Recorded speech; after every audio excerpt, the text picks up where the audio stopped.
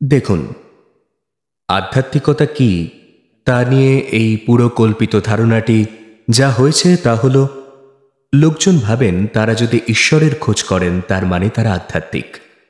আপনার বোঝা দরকার যে আপনি ইতিমধ্যেই একটা ধারণা তৈরি করে নিয়েছেন আর তারপরে ধারণাটিকে রূপ দেওয়ার চেষ্টা করছেন।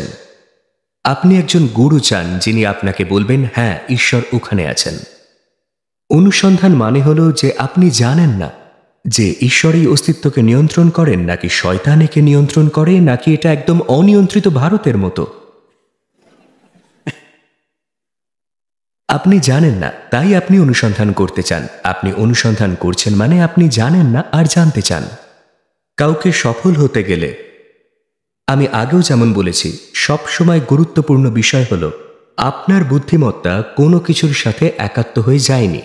কারণ বুদ্ধিমত্তার প্রকৃতি হলো এই যে যেই মুহূর্তে আপনি কোনো পরিচয় গ্রহণ করেন আপনার বুদ্ধিমত্তা ওই পরিচয়টিকে রক্ষা করার জন্য কঠোর পরিশ্রম করে। আপনার শুধু নিজেকে তিনবার বলতে হবে, আমি একজন ভারতীয়। হঠাৎ করে ভারতীয় সবকিছু সুন্দর দেখাবে, সীমানার বাইরের সবকিছু বিশ্রী দেখাবে। আপনার শুধু নিজেকে বলতে হবে, আমি এটা। আর সাথে সাথেই এটা শুধু সেই জিনিসটাকে রক্ষা করবে, আর অন্য কিছুকে নয়, এটা বুদ্ধির প্রকৃতি। আসলে এটাই বুদ্ধির কাজ, কারণ বুদ্ধি টিকে থাকার একটা অস্ত্র। বুদ্ধি চরম বুদ্ধিমত্তা নয়, দুর্ভাগ্যবশত যেহেতু আমরা ইউরোপীয় প্রভাবে বড্ড বেশি প্রভাবিত, আর কেউ একজন ওখানে বলেছেন, আমি ভাবি, তাই আমার অস্তিত্ব আছে, আমরা একদম হারিয়ে ফেলেছি। ভারতে যৌগিক প্রক্রিয়ায় প্রথমত আমরা আপনার চিন্তা ভাবনায় খুব বেশি গুরুত্ব দিই না।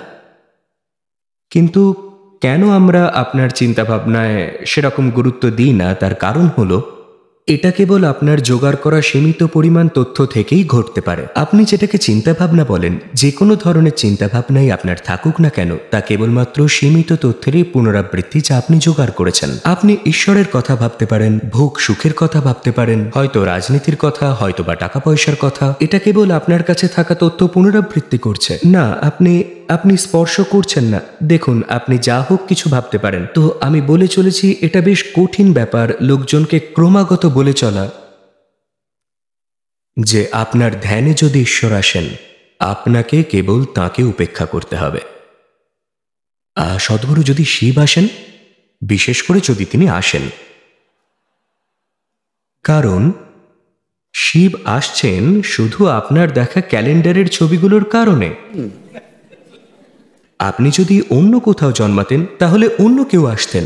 তো এটা হলো পুরনো তথ্য যা সমস্যা তৈরি করছে। যাই সমস্যা তৈরি করুক না কেন, আপনি পারেন না, আপনি ঈশ্বরকে ভাবতে পারেন না টাকা পয়সার কথা ভাবতে পারেন না, আপনি সমুদ্র বা আকাশের কথা ভাবতে পারেন না, আপনি কেবল সীমিত তথ্যের পুনরাবৃত্তি করে চলেছেন। তো আমরা চিন্তা ভাবনার প্রক্রিয়াকে বুদ্ধিমত্তার এক বিশিষ্ট নমুনা হিসাবে স্বীকার করি না। এটা বাস্তব জগতে আপনার টিকে থাকাকে সামলানোর জন্য চমৎকার একটা হাতিয়ার। কিন্তু আপনি যদি কিছু অন্বেষণ করতে চান, তাহলে আপনার মধ্যে বুদ্ধিমত্তার অন্যান্য মাত্রা আছে। খুব বেশি সহজ করে বললে, আজকে দুপুরে লাঞ্চে আপনি যাই খেয়ে থাকুন না কেন?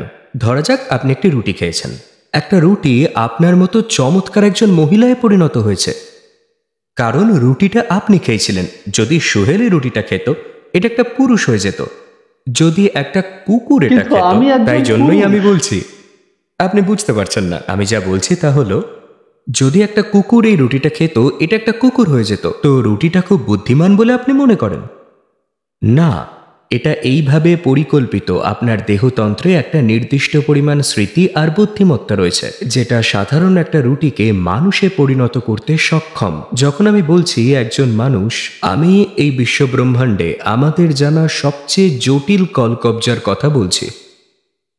হয়তো অন্য আরও থাকতে পারে। কিন্তু এটাই বিশ্বব্রহ্মাণ্ডে আমাদের জানা সবচেয়ে জটিল যন্ত্র কৌশল এমন একটা জটিল যন্ত্রের সাহায্যে আপনি কি উৎপাদন করেছেন? রুটি, কলা, ডাল, এটা, সেটা দিয়ে আপনি যা কিছুই খান না কেন, এটা রূপান্তরিত হয়ে যায়। তো আপনার মধ্যে একটা বুদ্ধিমত্তা রয়েছে, যা কিনা সৃষ্টির একেবারে মূল উৎস। একে উপলব্ধি করার উপায় খোঁজার বদলে আপনি নিজের চিন্তা ভাবনার প্রক্রিয়ায় অতিরিক্ত ডুবে গেছেন। আপনি একবার নিজের চিন্তা ভাবনার প্রক্রিয়ায় ডুবে গেলে আপনার পরিচয়গুলো অত্যন্ত শক্তিশালী হয়ে ওঠে। যখন তারা অত্যন্ত শক্তিশালী হয়ে ওঠে, আপনার আত্মবিশ্বাসের একটা বোধ থাকবে, কিন্তু আপনার সব স্বচ্ছতা চলে যাবে। দুর্ভাগ্যবশত পৃথিবীর তথাকথিত ধর্মগুলোর মূল ভিত্তি হল আত্মবিশ্বাস তৈরির বিষয়ে চিন্তা করবেন না, ঈশ্বর আপনার সাথে আছেন। আপনি জানেন কিছু ব্যাংক আছে, কিছু ব্যাংকের বিজ্ঞাপন আছে যে আমি আপনার সাথে আছি। আপনি জানেন কোনো ব্যাংকের মালিক কীভাবে থাকেন আপনার সাথে?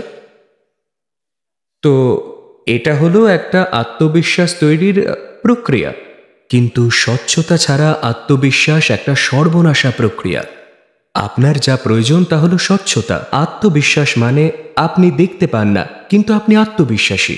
এটা এগিয়ে চলার পক্ষে এক বিপজ্জনক পথ। এটা হলো, এ হলো লাগাতার বিপর্যয়। দেখুন, জীবনের সাধারণ দিকগুলো খুঁজে বের করতে হাজার হাজার বছর লাগে না। আমি বলছি, এখন সুহেল এইসব ব্যাপারকে আক্রমণ করছেন রাগ, ঘৃণা, একে অপরের প্রতি সব ধরনের অনিষ্ট সাধন অত্যন্ত তীব্রভাবে। এই ব্যাপারে আমি যা বলছি তা হলো, এগুলো একজন সাধারণ মানুষের মধ্যে সাধারণ বিষয়। লক্ষ লক্ষ বছর ধরে এখানে থাকার পরেও, যদি আপনি এগুলো খুঁজে বের করতে না পারেন, কোন পথে এর থেকে বেরিয়ে আসা যায়? স্পষ্টতই আপনার বুদ্ধিমত্তা যথেষ্ট ভালোভাবে কাজ করছে না। তাই নয় কি? আপনার বুদ্ধিমত্তার অন্যান্য মাত্রার প্রয়োজন আছে। সবাই আমায় জিজ্ঞেস করেন, সদ্গুরু, অন্য সব গুরুরা এত সব অলৌকিক ব্যাপার ঘটাচ্ছেন, আপনি কিছু করেন না। আমি বলি, আপনি কি চান আমি আমার পকেট থেকে পায়রা বের করি? যদি আমি সেটা করি আপনি একটা পায়রা পেয়ে যাবেন আর আমার থাকবে একটা বিষ্ঠা ভরা পকেট। কিন্তু না এটা নিয়ে কথা বলা যাক। কিন্তু আপনি স্বীকার করেন যে এমন অনেক মানুষ আছেন যারা এই ধরনের আজগুবি জিনিস করে বিশাল পরিমাণ জনগণের আবেগকে সত্যি ঠকাচ্ছেন? দেখুন দুর্নীতি শুধু আধ্যাত্মিক মানুষজনদেরই এক চেটিয়া অধিকার নয়। অসৎ রাজনীতিবিদ আছেন, অসৎ আইনজীবী আছেন, অসৎ পুলিশ আছেন, অসৎ ডাক্তার আছেন, সব ধরনের পেশায় অসৎ আছে, তাই তো? এটা জীবনের সব ক্ষেত্রেই ঢুকে পড়েছে। শুধু এই যে, যখন একজন মানুষ যিনি আধ্যাত্মিক পথপ্রদর্শক বা গুরু বলে দাবি করেন, তিনি যখন দুর্নীতিগ্রস্ত হয়ে পড়েন, এটা আলাদা করে চোখে লাগে। কারণ, আজকাল যদি কোনো থানায় যান আপনি ধরেই নেন উনি দুর্নীতিগ্রস্ত হবেন, দুর্ভাগ্যবশত। তিনি যদি অসৎ না হন, আপনি অবাক হন। তখন আপনি বলেন, হে ভগবান, আমি থানায় গেলাম, ওরা তো কোনো টাকা পয়সা চাইল না। তুমি জানো উনি আমার, কাজটা করে দিলেন? কিন্তু আপনি যখন কোনো ডাক্তারের কাছে যান, তিনি যদি দুর্নীতিগ্রস্ত হন, আপনি একটু দুঃখ পান, কারণ আপনি নিজের শারীরিক সত্তাটি তার হাতে তুলে দিয়েছেন। কিন্তু আপনি যখন কোনো গুরুর কাছে যান, আপনি আপনার পুরো জীবনটাই তার হাতে তুলে দেন। তিনি যদি দুর্নীতিগ্রস্ত হন, আপনি খুব গভীরভাবে দুঃখ পান, তাই না? তো যে সততার প্রয়োজন হয়, নানা পর্যায়ের কাজকর্ম করার জন্য স্পষ্টতই তার চাহিদা আরও বেড়ে যায়, যখন এতে আরও বেশি আস্থা রাখা যায়। কিন্তু দুর্ভাগ্যবশত আধ্যাত্মিক ব্যবসা শুরু হয়ে গেছে এখন। তাই তো? এটা একটা ব্যবসা। যদি দু পাতা গীতা পড়েন আপনি, দেশে একজন গুরু হতে পারেন। আপনার পুরোটা পড়ারও দরকার নেই। দু পাতা আর ওই দু পাতায় বারবার এমন এক ভাষায় আউড়ে যান, যেটা অন্য লোকেরা বুঝতে পারেন না, আর আপনি গুরু হয়ে যাবেন। তো আধ্যাত্মিক প্রক্রিয়ার সফল হওয়া মানে আপনাকে শুধু এটুকুই করতে হবে। আজ রাতে যখন বাড়ি ফিরবেন, আপনার বিছানায় বসে নিজের দিকে দেখুন, আপনি কি আপনি কি সংগ্রহ করেছেন। ঠিক আছে? আপনার একটা বাড়ি আছে, আপনি তা জোগাড় করেছেন। আপনার লোকজন আছে, আপনি তাদের জোগাড় করেছেন।